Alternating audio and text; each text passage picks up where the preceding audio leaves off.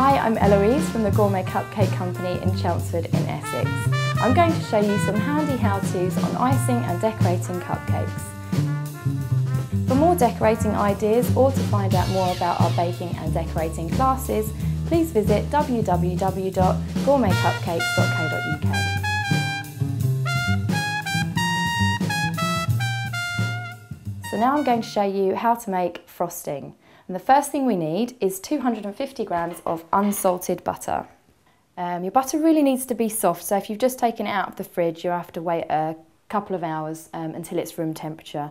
Um, this is just so it's easier to mix and combine with the icing sugar in the mixer. So I'll put the butter in first.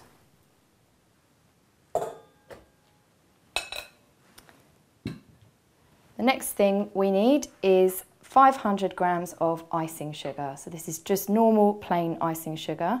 Um, and I'm going to add this to the butter.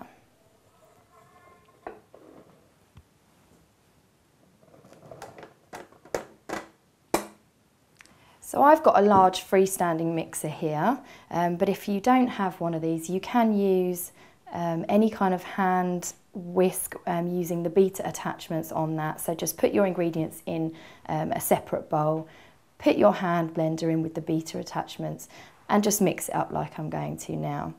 Um, these are particularly useful because they have this on the top, so this icing sugar guard helps to keep the ingredients in the bowl.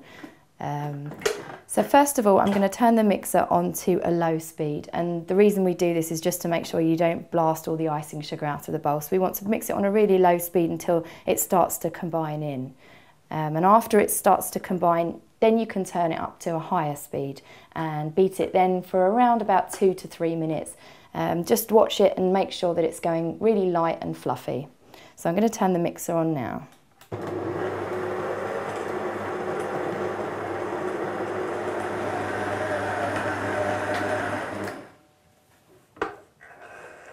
So as you can see now it's starting to combine so this is the point where you can turn the mixer up to a higher speed um, and we're going to do that as I said for two to three minutes.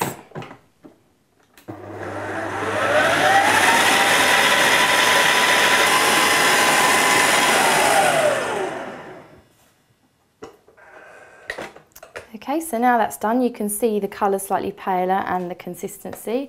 So now At this point to the frosting, um, I'm going to just add some vanilla extract. So for this quantity, I'm going to add a teaspoon.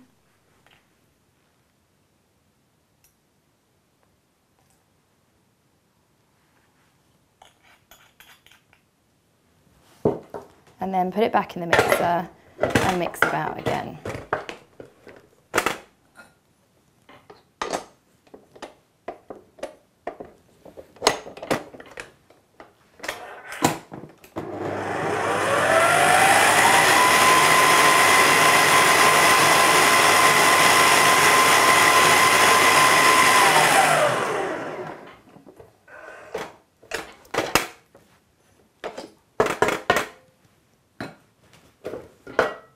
Um, so that's the frosting, all done. That's vanilla flavour. You can add other natural extracts um, like lemon or orange or rose.